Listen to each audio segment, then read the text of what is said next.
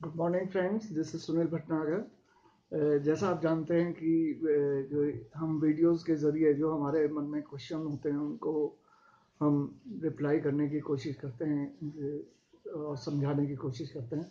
दोस्तों हमने ये देखा है कि जो कॉटन है उसके कपड़े सनलाइट में और एटमॉस्फेयर में कुछ समय बाद अपना रंग छोड़ देते हैं। और क्या रीज़न है इसका?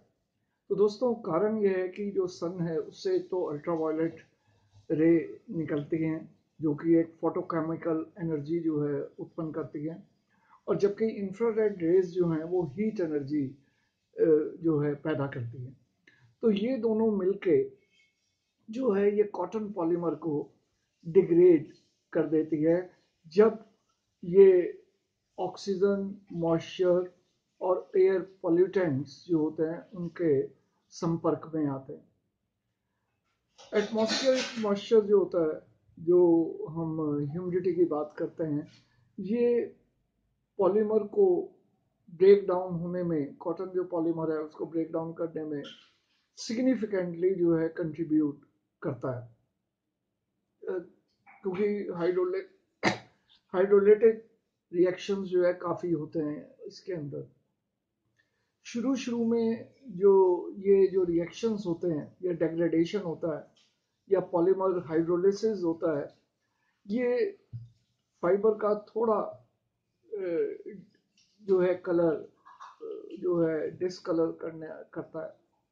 मगर जैसे जैसे समय बीतता जाता है तो ये एक्सलरेट हो, हो जाता है।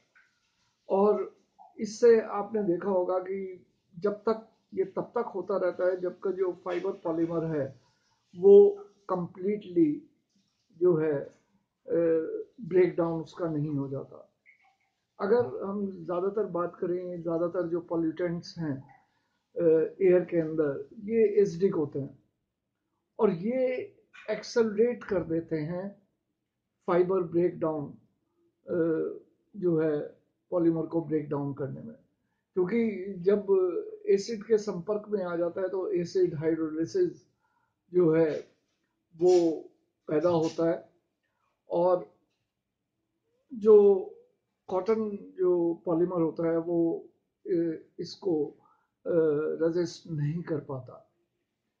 और ज़्यादातर आपने देखा होगा कि जो फेडिंग जो होता है कलर टेक्सटाइल मटेरियल के अंदर जो होता है, ये कुछ हद तक जो है, ये डाई मॉलिक्यूल्स जो हैं, ये ब्रेक डाउन हो जाते हैं फाइबर पॉलीपर सिस्टम में और इसी के कारण जो है फेड कलर होता है। तो दोस्तों, आशा है आपको ये जो टॉपिक है, ये समझ में आएगा कि क्यों कॉटन सनलाइट और वेदर के कारण जो है फेड होते हैं या कॉटन फाइबर पर इसका असर क्या होता है। Thank you friends, have a nice day.